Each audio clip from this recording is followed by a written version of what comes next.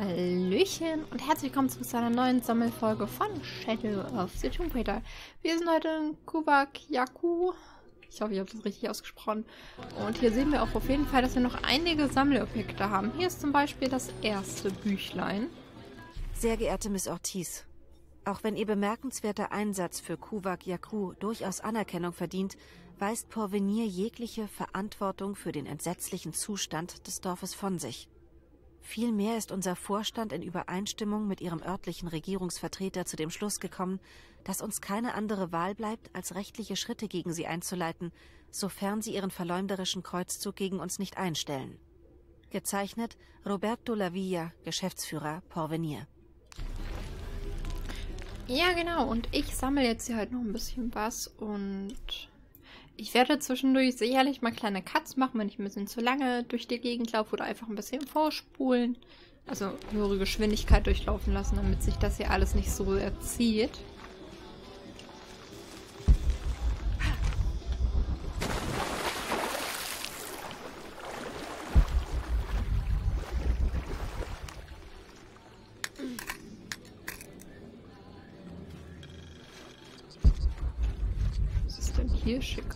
Alles voll. Ich kann nicht mehr tragen. Okay, ich bin immer noch ziemlich voll. Da hinten sitzt noch jemand.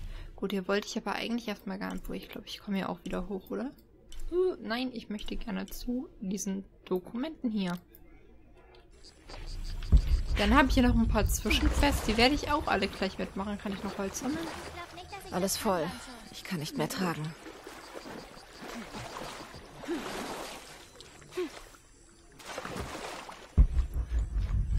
Gut, ich muss jetzt irgendwo nach... Oh, guck mal, hier ist auch noch irgendwie eine Tür zu. Alles voll. Da könnte ich, ich auch mehr mal kurz reingehen. Ups, Entschuldigung.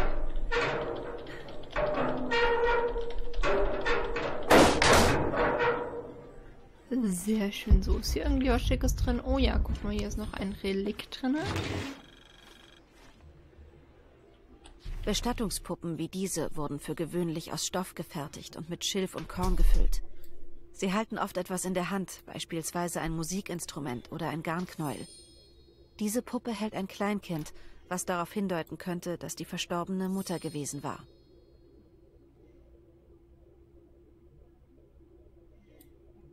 Okay.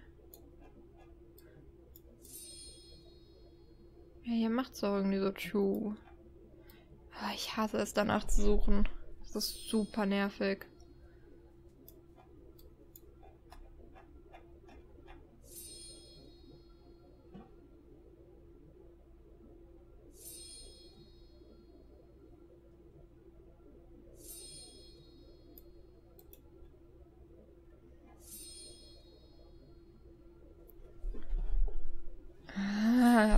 Das immer so kompliziert hier?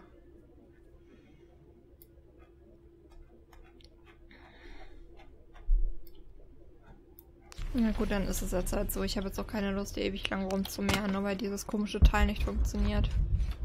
Alles voll. Ich kann nicht mehr tragen. Dann gehen wir jetzt zum Dokument. Ich rede hier nochmal mit ihr. Hier kommen nur selten Touristen her. Ich bin keine Touristin, meine ich. Ich bin Forscherin. Oh. Oh. Tja. Du hättest diesen Ort mal vor 20 Jahren sehen sollen. Er war so voller Leben und so optimistisch, was die Zukunft betrifft. Pff, optimistisch. Naiv trifft es wohl besser. Was ist passiert? Porvenir ist passiert. Eine große Ölfirma aus Lima. Sie kamen her, kauften die Stadt auf, gaben allen Arbeit. Sie wollten sogar Wohnungen über den Fluss bauen. Dann ging alles den Bach runter. Der Ölcrash. Ja, und sieh uns jetzt an. Schade, dass du keine Touristin bist. Touristen bringen Geld. Archäologen nehmen nur. Ähm, ja, genau. Ich rede jetzt, glaube ich, doch nochmal mit ein paar mehr Leuten, weil manchmal findet man ja noch ein paar Verstecke. Ihr habt übrigens mal ganz kurz ein Standbild. Übrigens habe ich Lara auch umgestylt ein bisschen. Also umgestylt, ich habe einfach ein anderes Outfit angezogen. Dann quatsche ich nochmal mit dem hier. Einst wurde die Stadt von dem wachsamen Auge des Kondors beschützt. Doch wir ließen zu, dass der Adler ihn vertrieb. Ich verstehe nicht ganz. Ja, ich auch nicht. Manchmal gehen Sachen im Laufe der Zeit verloren. Wir dachten, Geld würde uns glücklich machen. Aber der Adler nahm auch das. Genau das meine ich. So entdeckt man nämlich ein paar Geheimnisse und das ist eigentlich ziemlich praktisch. Jetzt muss ich erstmal gucken, wo ich zum Dokument hin muss. Dort hinten irgendwo, okay. Alles voll. Ich kann nicht mehr tragen. Ich glaube, hier war auch irgendwo ein Händler. Kann ich auch nochmal gucken, ob ich noch irgendwie was finde. Da liegt's ja. Sorry. Ich habe ein wenig nachgeforscht und denke, wir könnten eine eigene Raffinerie bauen. Es wird allerdings große Anstrengungen erfordern und ich kann es nicht allein machen. Wir müssen einen Öltank mit einem Fassungsvermögen von 1000 Litern bauen. Der Rumpf des im Fluss gesunkenen Schiffes wäre dafür vermutlich geeignet. Irgendwelche Freiwilligen für eine Bergungsmission? Wir brauchen ein System, um das Rohöl zu sammeln. Wer will die Leitung der Eimerbrigade übernehmen? Sobald die Anlage steht, müssten wir Diesel, Kerosin und Benzin herstellen können. Die Menge sollte auf jeden Fall für die Flugzeuge ausreichen und irgendwann vielleicht sogar Profit abwerfen. Okay, und das zweite Dokument ist ja auch gleich hier in der Nähe. Ja, Mädchen, was tue ich dann? Das scheint Abbys Stammbaum zu sein. Ihre Familie lebt seit Hunderten von Jahren in diesem Dorf. Und wie es aussieht, ist sie mit den meisten Dorfbewohnern irgendwie verwandt. Voll, alles, alles voll gut.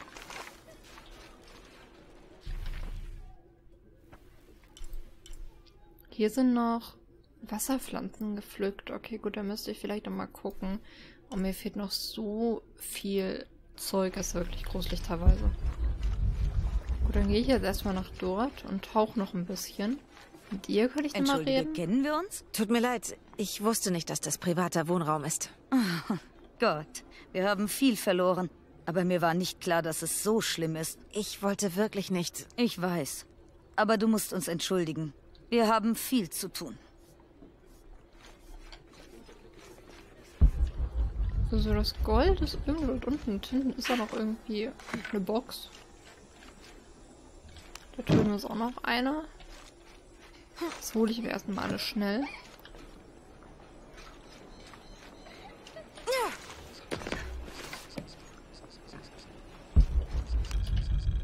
Oh, eine Karte, sehr gut.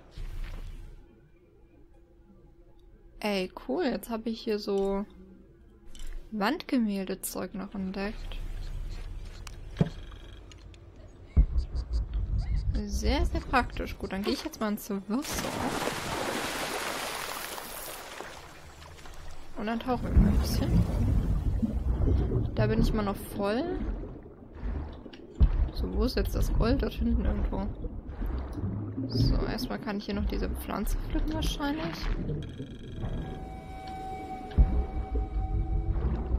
Ich hoffe, hier sind keine bösen Piranhas irgendwo. Oh Gott, hier liegt so viel Zeug rum. Tauen das nochmal kurz auf.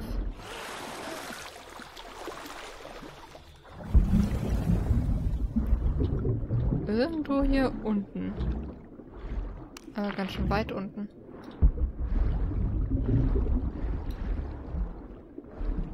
Hier bin ich immer noch voll. Das ist jetzt das Gold?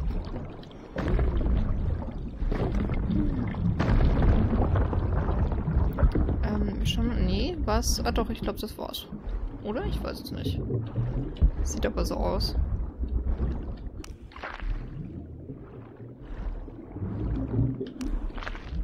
Da hinten war noch irgendwas versperrt, da möchte ich nochmal gerne hintauchen. Aber eigentlich habe ich es doch jetzt abgeerntet, oder etwa nicht? Komisch. Doch, ich glaube, das war das Zeug. Ich glaube, das ist nur immer auf der Karte bezeichnet, weil es irgendwie... Ach, kannst du mal durchkommen?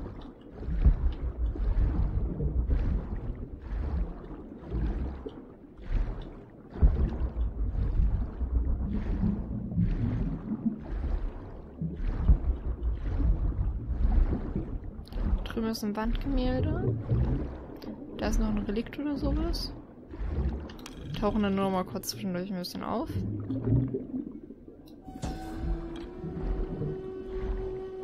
Diese strahlend goldene Scheibe ist unverkennbar. Das hier ist Inti, der bedeutendste Gott der Inka. Er war der Gott der Sonne, Beschützer der Menschen und Spender von Wärme und Licht. Einigen Legenden zufolge hat er den Menschen außerdem den Weg in die Zivilisation gewiesen.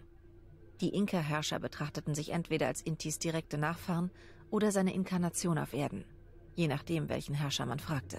Okay. Ich gucke nochmal ganz kurz auf der Karte. Also hat auf jeden Fall gerade noch irgendwie ein Relikt, glaube ich, geleuchtet. Irgendwie eine kleine Schatulle.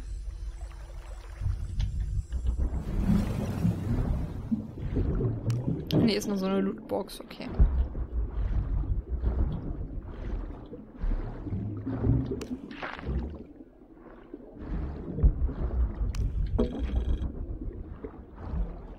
Ist hier sonst noch irgendwo etwas, was ich noch ernten könnte, mitnehmen könnte, was irgendwie wichtig ist? Gut, hier ist ziemlich viel von dem Zeug, aber das habe ich halt alles teilweise schon. Bin ich jetzt auch voll.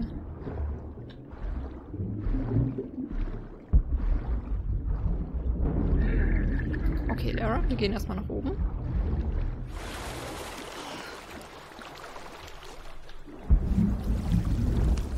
Aber hier ist noch so eine kleine Box.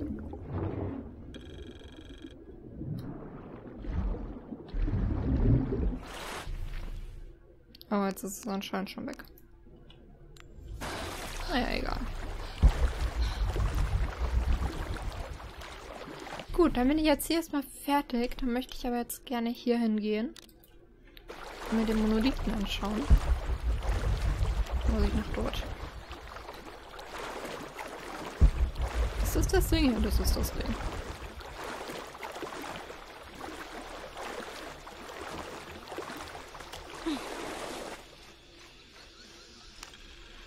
Das beschreibt etwas in der Nähe. Hole tief Luft und finde mich direkt unter der Nase eines anderen. Okay, da müssen wir wohl tauchen. Hier war jetzt aber gerade doch irgendwo so ein kleines Relikt-Dings. Nein, ich möchte nach hier. Ich möchte nach dort.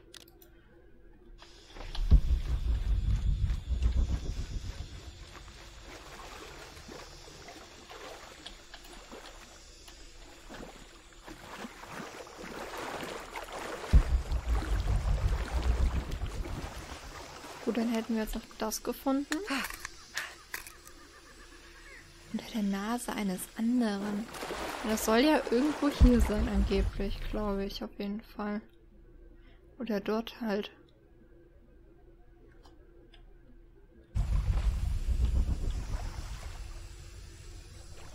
Wir schauen mal nach.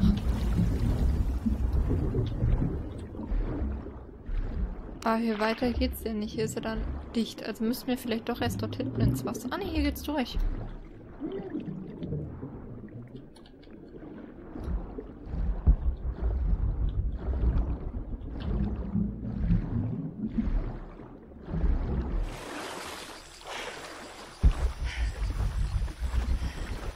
Okay. Jetzt sind wir hier. Drüben ist auch noch so ein Wandgemälde.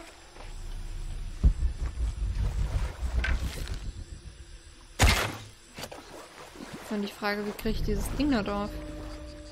Ach, das hier ist eine Krypta. Okay, cool.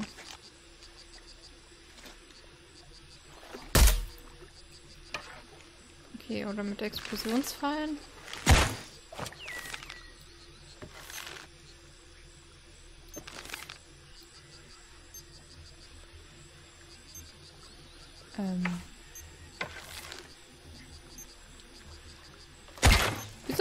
In die Luft?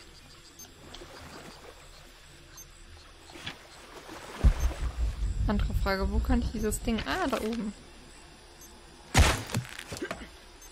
Schauen wir uns erstmal das an. Ich habe keine Ahnung, wie ich da durchkomme. Es bringt auf jeden Fall die ganze Zeit etwas.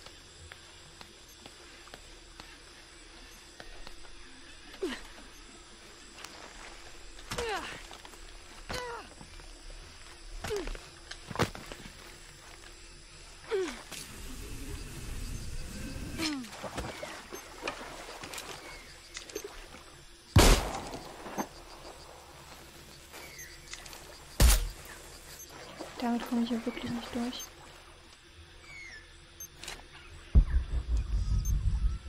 Ja, die Frage ist, was fehlt mir jetzt denn dafür?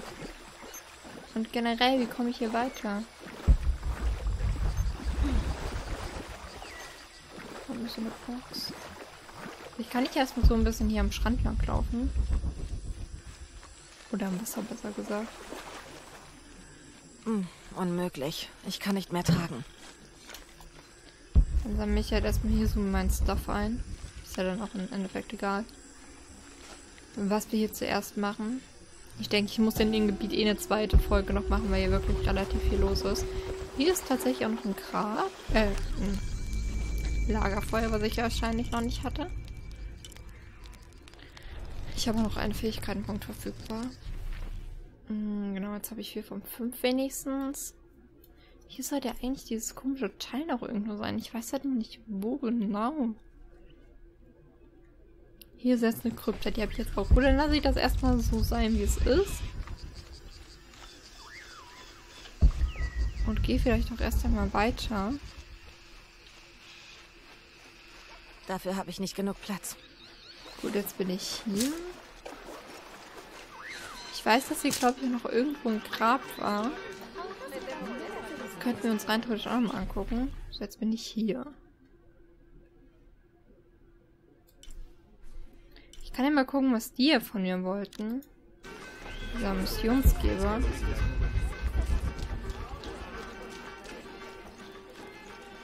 Dann könnte ich ja das rein theoretisch jetzt noch machen.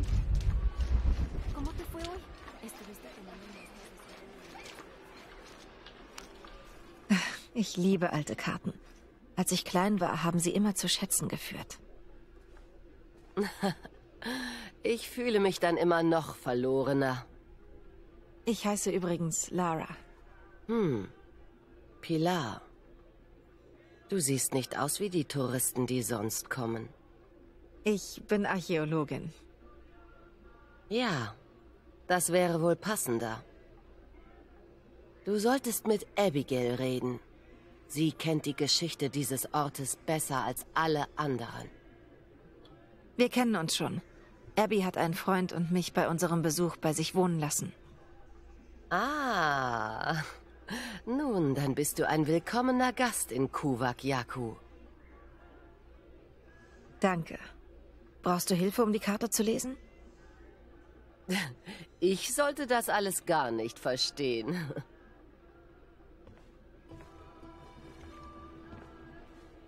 Ich habe die Wahrheit versteckt. Das wird Abigail sehen.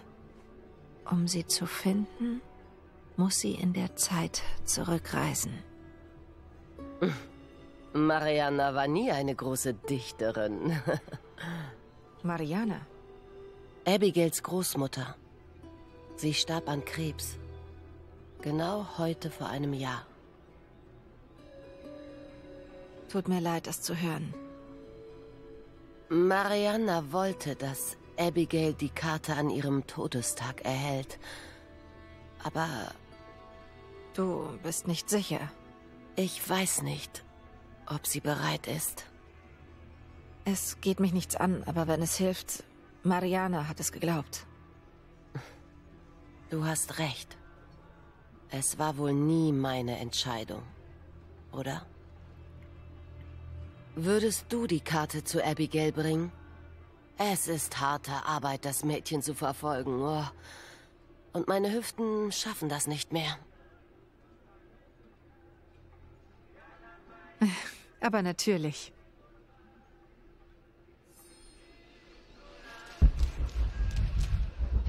Abby, hier Lara. Hallo, Fremde. Wie läuft's denn so? Wie geht's Jonah? Dem geht's gut. Er ist bei einem Freund. Einem Freund, aha. Wie heißt sie denn? er heißt Uchu. Hör zu, Abby. Ich bin wieder in Kuvak Yaku und bin auf eine alte Karte gestoßen, die deiner Großmutter gehörte. Ähm, Im Dorf wohnt ein alter Mann, Diego. Er pflegt den Gemeinschaftsgarten. Er kennt sich mit Karten aus. Vielleicht kann er mal draufschauen. Treffen wir uns dort? Bin unterwegs. Okay, gut. Kann es sein, dass das vielleicht schon wieder so eine Art DLC hier ist? Aber egal, da das hier ein Kuckuwaka ist und ich das hier noch nicht aussprechen kann, Würde ich sagen, gehen wir einfach direkt dorthin. Ich rede mal kurz mit Neue ihm hier. Gesichter sehe ich immer gern. Ein schönes Gefühl zu wissen, dass unsere Gegend hier nicht vergessen ist. Auch gut für die Kasse. Wenn du dir mal ansehen würdest, was wir im Laden so alles verkaufen. Laden könnte ich rein theoretisch auch noch kurz machen. Wartet mal ganz kurz. Dann gehe ich erstmal kurz in den Laden und gehe dann hierhin zurück.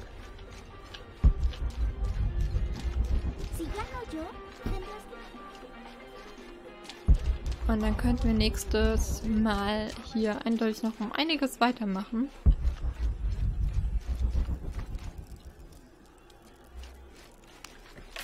Das hier ist nicht der Laden, aber hier ist noch ein Dokument. Deswegen nehme ich das mit. Miss Ortiz, danke für Ihre kürzliche Anfrage. Anhand der Proben, die Sie uns zur Verfügung gestellt haben, wurde ein Wasserqualitätsindex WQI der Flussgebiete nahe dem Dorf Kuvak-Yaku erstellt. Die Auswertungen zeigen, dass die Qualität als schlecht eingestuft werden sollte, da maßgebliche Faktoren wie Verschlammung, chemische Verschmutzung und Schwermetallbelastung festgestellt wurden. Sowohl Trübung als auch Feststoffe überschreiten die ökologischen Grenzwerte. Wasser mit einer hohen Trübung ist nicht als Trinkwasser geeignet und die große Menge an Feststoffen bedeutet, dass es auch nicht zur Bewässerung verwendet werden kann, da dies zu einer Schädigung der Böden führen würde. In den betroffenen Flussgebieten wird darüber hinaus höchstwahrscheinlich kein Fischfang mehr möglich sein, was sich wiederum negativ auf die Existenz der Einwohner auswirken wird. Des Weiteren lag der pH-Wert im hohen alkalischen Bereich, während der chemische Sauerstoffbedarf ebenfalls die Grenzwerte überschritt. Beides Indikatoren für eine chemische Verunreinigung des Flusses. Wasser mit einem hohen pH-Wert, hartes Wasser, ist korrosiv und kann sowohl Rohrleitungen als auch Kleidung angreifen. Hohe Fluoridwerte im Wasser erhöhen das Risiko an Leiden wie Zahn- oder Skelettfluorose zu erkranken. Darüber hinaus stellen pathogene Bakterien wie Salmonellen ein akutes Gesundheitsrisiko für die einheimische Bevölkerung dar. Oh, das ist ja wirklich nicht so gut. So, der Markt ist noch hier ein bisschen weiter oben. Ich bin jetzt genau dort an, woanders hingerannt.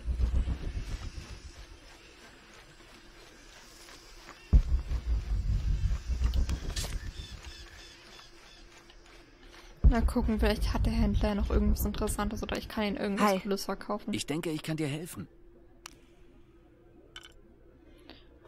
Naja, ein paar Waffen. Was ist das? Pistolenschalldämpfer. Nicht schlecht.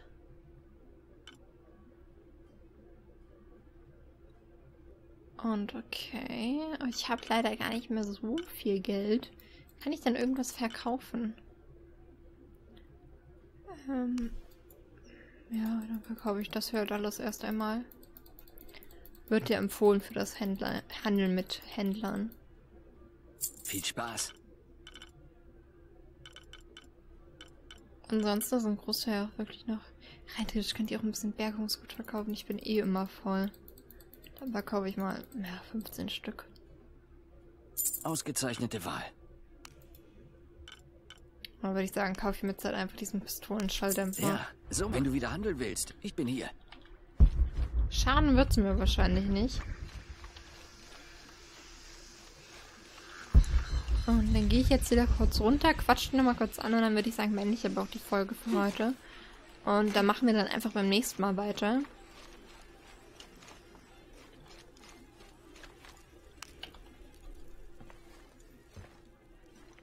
Kann ich helfen? Ich bin eine Freundin von Abby. Ich sollte sie hier treffen. Wir haben eine Karte. Kannst du sie dir ansehen? Oh, zeig mal her.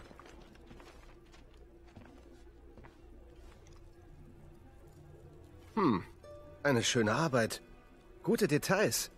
Freut mich, dass sie so gut erhalten ist. Du kennst sie also? In meinem Oberstübchen herrscht zwar Unordnung, aber meine Arbeit vergesse ich nie. Abbys Großmutter hat mich gebeten, sie zu zeichnen. Ich glaube, sie sollte eine Art Geschenk für Abby sein. Hier sind Flecken. Drei Stück. Siehst du sie? Hm, die sind nicht von mir. Riecht wie Zitrone, oder? Zitrone. Zitronensaft kann als Tinte benutzt werden, um... Auf der Karte könnte eine wärmeempfindliche Nachricht versteckt sein. Darf ich deine Feuerschale benutzen? Klar, nur zu. Also, wie funktioniert das? Zitronensaft ist organisch. Er oxidiert und wird braun, wenn man ihn erhitzt.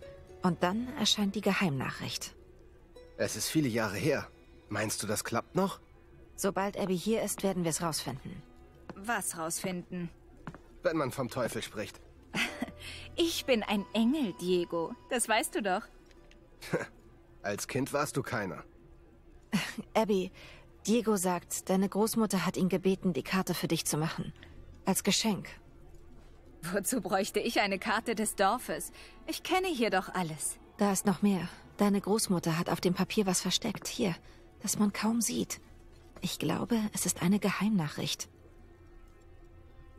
In unsichtbarer Tinte. Unsichtbare Tinte.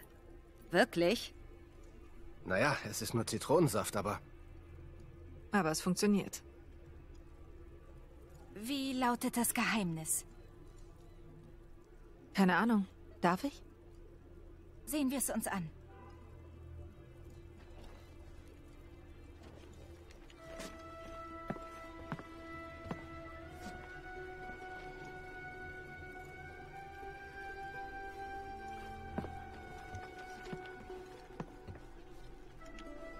Sieh mal. Diese Symbole. 3x? X ist das Ziel. Hübsch, Oma. Sind diese Punkte weit entfernt? Nein. Trennen wir uns? Klar. Ich nehme die beiden hier.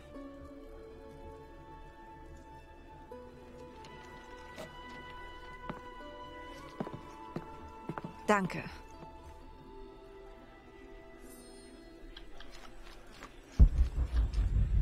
Okay. Abbys Großmutter Mariana hat Zitronensaft als unsichtbare Tinte benutzt, um drei kleine X zu verbergen. Wie auf einer klassischen Schatzkarte. Okay. Was ist denn hier? Irgendwo hier oben? Ich bin gerade ein bisschen verwirrt. Aber ja gut, das machen wir einfach beim nächsten Mal. Ich würde sagen, ich verabschiede mich jetzt an dieser Stelle von euch. Vielen lieben Dank fürs Zusehen. Und hier muss ich dann noch für das andere denken. Wir sehen uns dann beim nächsten Mal wieder. Habt bis dann eine wundervolle Zeit. Bis zum nächsten Mal und bis dann.